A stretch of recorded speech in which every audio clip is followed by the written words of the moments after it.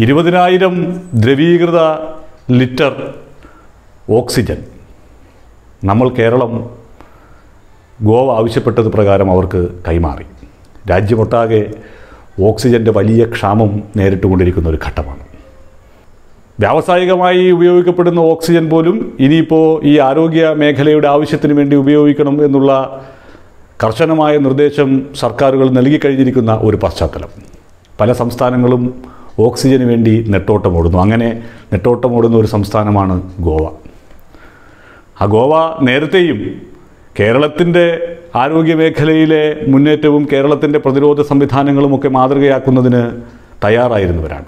രാഷ്ട്രീയത്തിനപ്പുറത്ത് അവിടുത്തെ B J പിയുടെ ആരോഗ്യമന്ത്രി തന്നെയാണ്. പല ഘട്ടങ്ങളിലും പരസ്യമായി തന്നെ കേരളത്തിന്റെ പിന്തുണ തേടിയിട്ടുള്ളതും കേരളം നൽകിയിട്ടുള്ള ആ വലിയ പിന്തുണകൾക്ക് നന്ദി അറിയിച്ചിട്ടുള്ളതും. അതുകൊണ്ട് തന്നെയാണ് അവർ സ്വാഭാവികമായി കേരളത്തോട് ഓക്സിജൻ ഞങ്ങൾക്ക് തരണം എന്നുള്ള അഭ്യർത്ഥന നടത്തിയത്.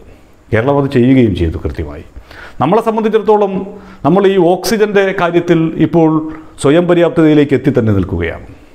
ഒരു വർഷം മുമ്പ് മുഖ്യമന്ത്രി പിണറായി വിജയൻ തന്നെ അക്കാര്യം ചൂണ്ടിക്കാട്ടിയിരുന്നു. നമ്മളൊരു പുതിയ ഓക്സിജൻ പ്ലാന്റ് തുടങ്ങി തിരുവനന്തപുരം മെഡിക്കൽ കോളേജിലെ ഓക്സിജൻ ശേഖരണ പ്ലാന്റിന്റെ കപ്പാസിറ്റി ഈ കഴിഞ്ഞ ഫെബ്രുവരി മാസത്തിൽ നമ്മൾ ഉയർത്തി. അങ്ങനെ വലിയ മാറ്റമായി ഈ ഓക്സിജനുമായി ബന്ധപ്പെട്ട മേഖലയിൽ ഉണ്ടാക്കിയെടുക്കാൻ നമ്മുടെ ആരോഗ്യ സംവിധാനത്തിന് കഴിഞ്ഞിട്ടുണ്ട്. കാരണം അതൊരു പ്രധാനപ്പെട്ട ഘടകമാണ് എന്നുള്ള തിരിച്ചറിവിൽ നിന്നാണ്. ഓക്സിജൻ എപ്പോൾ വേണമെങ്കിലും ഇതുപോലെയൊക്കെ ഒരു ഒരു വല്ലാത്ത അവസ്ഥ വന്നു കയറിയാൽ ഓക്സിജനാണ് ഈ പറയുന്ന രോഗത്തെ പ്രതിരോധിക്കുന്നതിന് വേണ്ടിയിട്ടുള്ള ഒരു പ്രധാനപ്പെട്ട ആവശ്യകത എന്നുള്ള ആ തിരിച്ചറിവിൽ നിന്ന് തന്നെയാണ് അത്രയും ദീർഘവീക്ഷണത്തോടു കൂടിയുള്ള ഇടപെടലുകൾ നടത്തിയത്. അങ്ങനെ ഒരു ദീർഘവീക്ഷണത്തോടു കൂടിയുള്ള ഇടപെടൽ നടത്താൻ സാധിച്ചത് കൊണ്ടാണ് ബി ജെ പിക്കാർ ഭരിക്കുന്ന ഗോവ ചോദിക്കുമ്പോൾ ഒരു മടിയും കൂടാതെ ഇരുപതിനായിരം ലിറ്റർ ദ്രവീകൃത ഓക്സിജൻ നൽകാൻ നമുക്ക് സാധിക്കുന്നത്.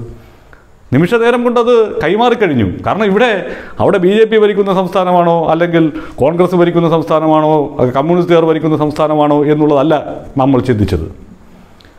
അവിടെ ഒരു അടിയന്തര സാഹചര്യം ഉണ്ടാകും നമ്മളോട് അത്രമേൽ വലിയ വിരോധമൊന്നും രാഷ്ട്രീയത്തിന്റെ പേരിൽ ഒറ്റപുലർത്തിക്കൊണ്ടിരിക്കുന്നില്ല ഗോവ എന്നുള്ള ഒരു യാഥാർത്ഥ്യവുമുണ്ട് അതുകൊണ്ട് തന്നെ അവരുടെ അഭ്യർത്ഥനയോട് കണ്ണടയ്ക്കേണ്ട കാര്യവുമില്ല. ഇനി അങ്ങനെ അല്ലെങ്കിൽ തന്നെ ഈ പറഞ്ഞ പോലെ നമ്മളോട് ദ്രോഹം കാട്ടിയിട്ടുള്ള കർണാടകയോട് പോലും നമ്മൾ തിരികെ ആ നിലയിലായിരുന്നില്ല പെരുമാറിയിട്ടുള്ളത്. അങ്ങനെയുണ്ടല്ലോ. ഇത് മനുഷ്യത്വം എന്ന് പറയുന്ന ഒരു ഘടകം.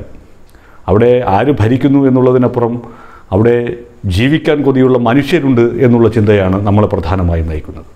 വി മുരളീധരനെ പോലുള്ള ആളുകൾക്കോ അല്ലെങ്കിൽ വി മുരളീധരനെ സപ്പോർട്ട് ചെയ്യാൻ പിന്നെ വന്ന അദ്ദേഹത്തിന്റെ ശിഷ്യൻ കെ സുരേന്ദ്രനെ പോലെയുള്ള ആളുകൾക്കോ ഒന്നും ഇത് പറഞ്ഞാൽ മനസ്സിലാകില്ല.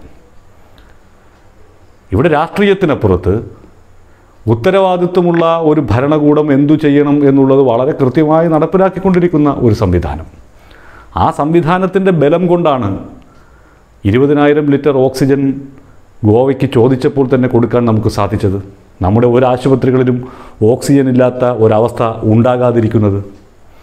നമ്മളെപ്പോഴും പറയുമല്ലോ ഈ ഭരണകൂടത്തിന്റെ ദീർഘവീക്ഷണം ഭരണകൂടത്തിന്റെ വിഷൻ എന്നൊക്കെ ഇങ്ങനെ നമ്മൾ പറയാറുണ്ട്. നരേന്ദ്രമോദിക്ക് അങ്ങനെ വിഷൻ ഇങ്ങനെ വിഷൻ എന്നൊക്കെ പറയുന്നു.